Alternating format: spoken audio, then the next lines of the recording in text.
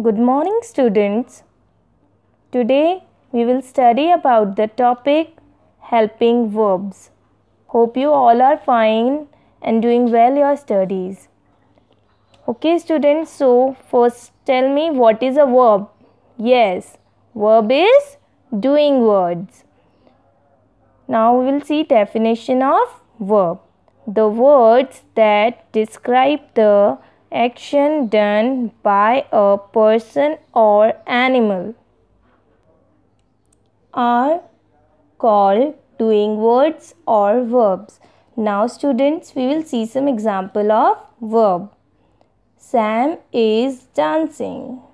The sun is shining. Girls are playing. Students, we'll see helping verbs. Here are some helping verbs is, am, are, was, were, has, have, had. Now look at these sentences. First, I am going to school. Here am is helping verb. The teacher is absent today. Is is here helping verb. Children are making noise in the class. Are is here helping verb. We were at the zoo this morning. Were is here helping verb. The zoo was crowded. Was is here helping verb. Yes, students, let us learn the use of is, am, are with pronoun. We observe am is used with pronoun I.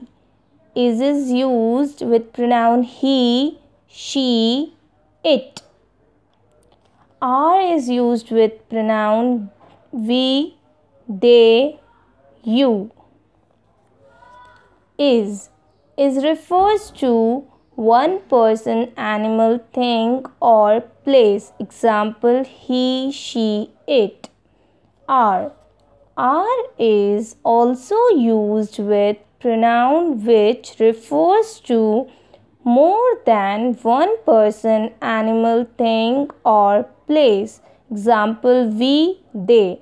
And am is used with I, with the pronoun I only. Now students, yes, I'll tell you helping verb was and were used. Was is refers to the one person, place, animal, thing and were is refers to more than one person, place, animal and thing. These indicate past while is are indicate present or now. Was we observe was is used with pronoun I, he, she, it. While were is used with pronoun we and they here.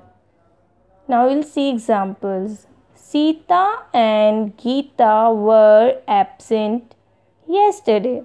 Were is here helping verb. Anil was sick yesterday. Sick is, I mean, was is helping verb. Let us learn the use of has, have, and had. The verbs has or have or had show the some show that something belongs or belonged to someone or something. Observe these sentences once again carefully. Example He has a toy car. Has is your helping verb. My father had an old scooter. Had is your helping verb. I have a younger brother. And here have is helping verb. You can see in the first and third sentence you uh, we use the verb has and have. Tells us about now and present. Now or present.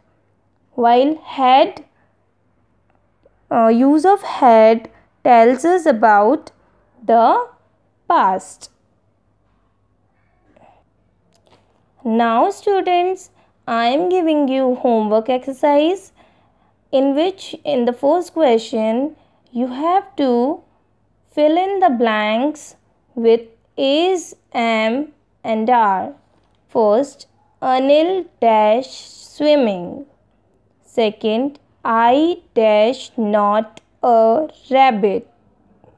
Third, we dash happy. Okay, in the second question, you have to fill in the blanks with was or were. First, it dash hot yesterday. Second, her clothes dash dirty. Third, you dash busy yesterday. In the third question, you have to use has, have or had to fill these sentences. First, we dash a holiday yesterday. Second, the tree dash yellow leaves. Third, we dash breakfast at 5 every morning.